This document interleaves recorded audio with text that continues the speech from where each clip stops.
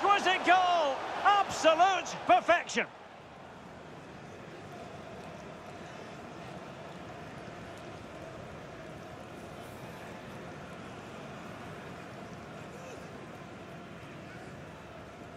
So the current scoreline...